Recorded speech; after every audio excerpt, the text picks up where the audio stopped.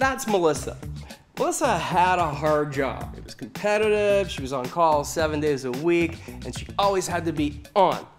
But then she got this radical idea to make all that stress go away. She quit.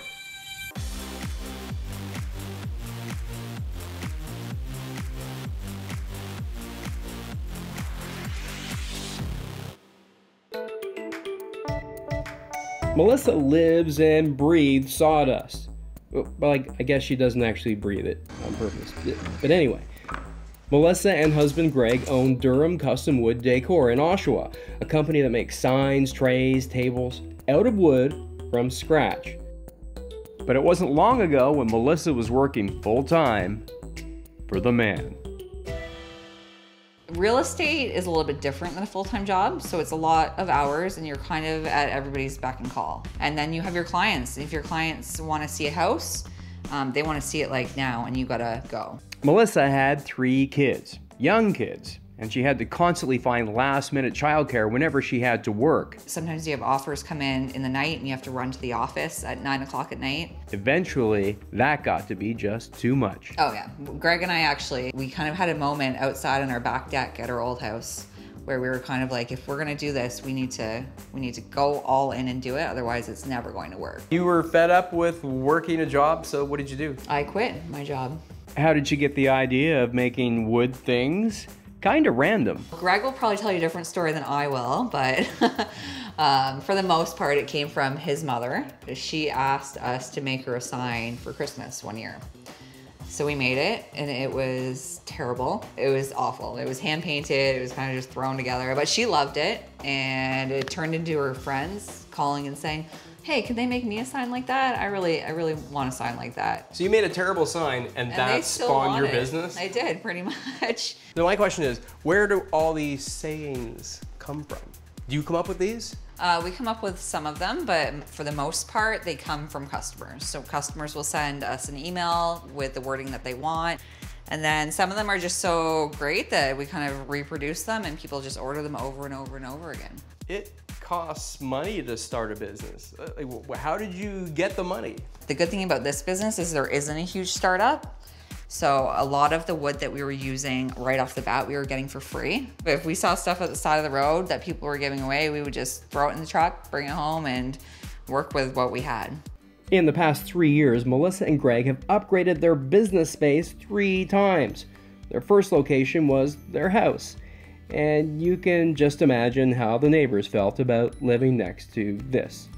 It was a disaster at times. I mean, especially when it was rain, we, did, we didn't have a lot of cover. We ended up going out one day and buying canopies and thinking maybe that would work. And I think they blew away like the next day.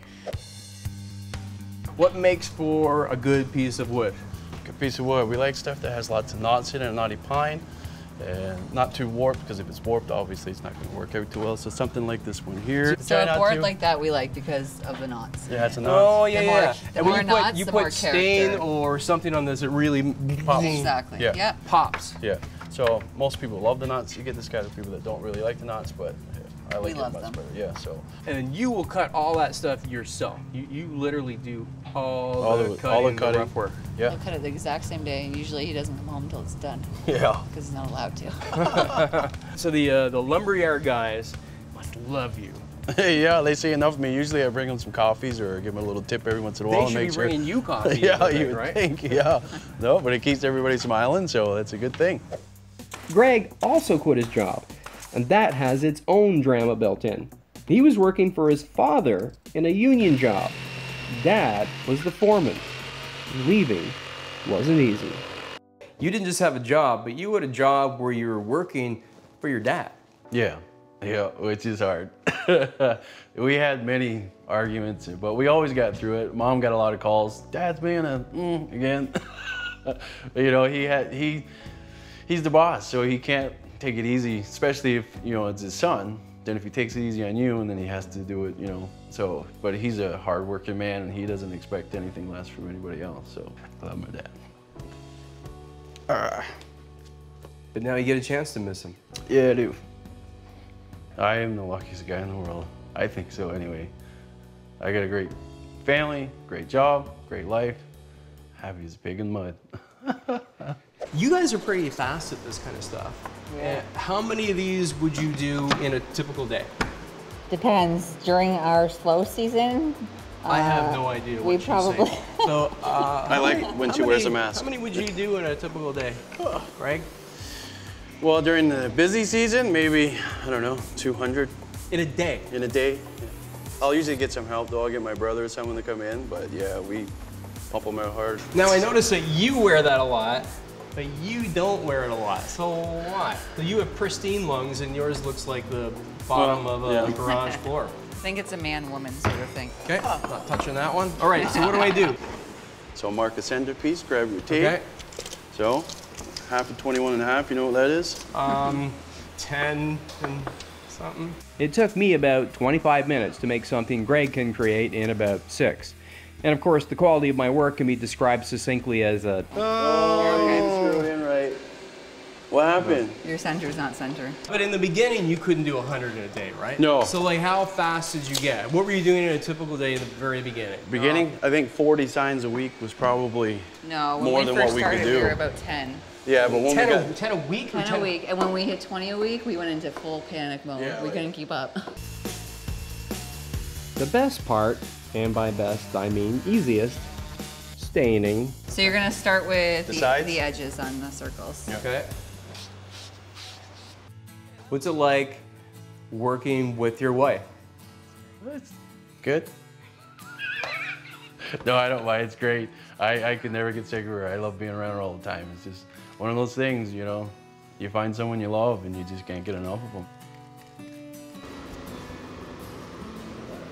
That looks good, with the exception of the part that you ripped and stuck Uh, together. you know, I, but- I kind of like that part, you know? What you got? Do I- Are we revealing mine? Yeah. The, who's the Osmond That's family? us. That would be us. Are you guys the Yes. Osmond We used family? our own name on this one. We actually don't So have you one were of these. established in 2009. Yeah. Where were you before 2009? We were nothing. Just unestablished, Yeah, I guess, right? pretty much. Yeah. What is the range and price of all these things? What's the cheapest Pricing. thing? So the cheapest thing it would be around the thirty dollar mark, and that would be for our standard family name sign. So it would be something of this style. So it's actually a pretty good size for $30. The dollars. Bosian family. You, you sell a lot of these ones? Not that specific one. No. Right. You have a product, Yeah. You have a business. Mm-hmm. How do you get the word out so people will come and buy your stuff? Right off the bat, we made a few sample signs. So really similar to what we do now, maybe not as nice as what our stuff looks like now. Um, and I put it out on Facebook, and I kind of just put a headline with it. If you had the opportunity to buy something like this, would you buy it? And from that point on, I had people commenting and saying, "Oh yeah, I'll take one. I'll take one. I'll take one." And we kind of just grew from there. Experts say social media marketing is worth it. Alicia Loriot is a business counselor from the Canadian Federation of Independent Business. She says using your social networks builds lifelong customers, and it doesn't have to be pricey. Do people need to spend a lot of money on marketing these days in order to tell people what they're offering? Well, yes and no. I think that, you know, uh, social media platforms are in itself free, right?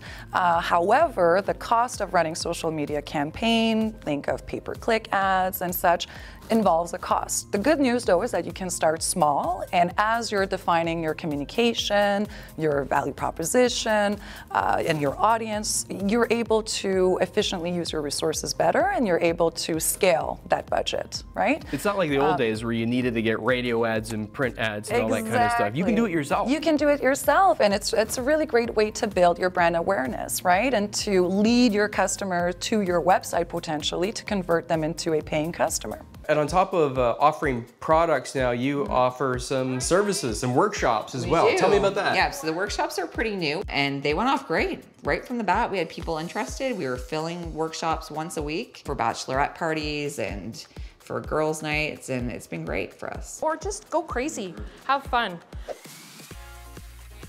Working for yourself often means long hours, even when you're home, which isn't always easy when you have kids who are, you know, climbing the walls.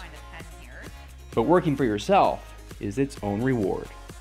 If you could go back in time, what information or advice do you wish that you had before you launched your business? I would have quit my job immediately. I would have done this immediately. Sooner. Oh yeah. I wish we had I wish we had have thought of this years ago. I wish we had have because we probably would have been even further into it now than we are already. Sounds like you wish you'd done this maybe Oh, years earlier. Years ago. Years ago. You just kind of have to make sure everything's okay because you don't want your parents to stress out. You don't want your mom to stress out that things aren't going to be okay. So there's a little bit of you know fear in that way. Are you shocked by how far you come in how little time? Oh yeah, hundred percent. We talk about that all the time. Um, we get really excited because we see how much we've grown, even within a year's time. So we get really excited for like this time next year, where are we're going to be, and what what could have happened by now. I hope it continues to happen because we just love it. And it's hard to balance, but May I have a drink? you can, can you have a drink yet? You can. Um, Daddy, can you get him a drink, please? Daddy, get you a drink, okay? So as you can see, it's a, it can be a balance. That's Michelle. Michelle had a really hard job. It was competitive. She had. What's that? What did I say, Michelle? What the? I told you. Listen, from now on, you're Michelle. Yeah. Very cool.